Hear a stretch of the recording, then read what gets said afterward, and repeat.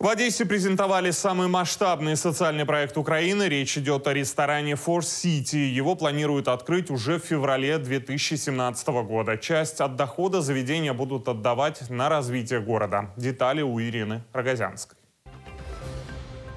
Мы находимся на презентации проекта Фо Сити, и буквально через несколько минут наш город узнает, как будет выглядеть самый уникальный ресторан во всей Украине.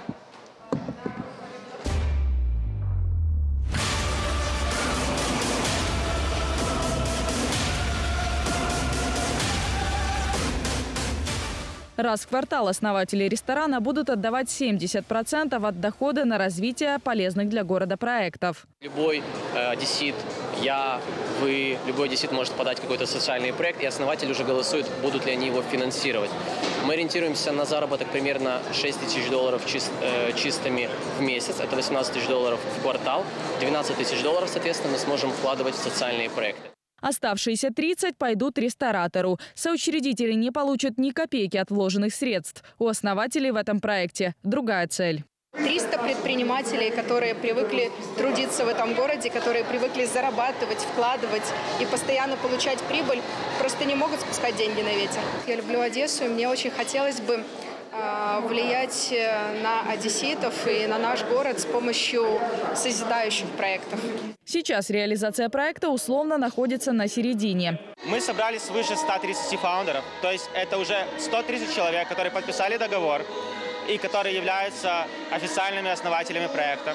Мы нашли ресторатора, им стал э, Александр Кожухаренко, Алекс Купер, э, владелец таких проектов, как Cooper Burger, Гиви to me, Молодость. Заведение разместят в здании бывшей водолечебницы на канатной 27 дробь 1. 4City – это не просто ресторан, это универсальная площадка.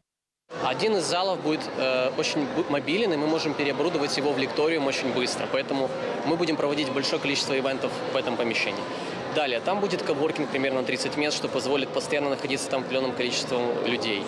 Э, мы рассчитываем делать еще один маленький зал в этом коворкинге.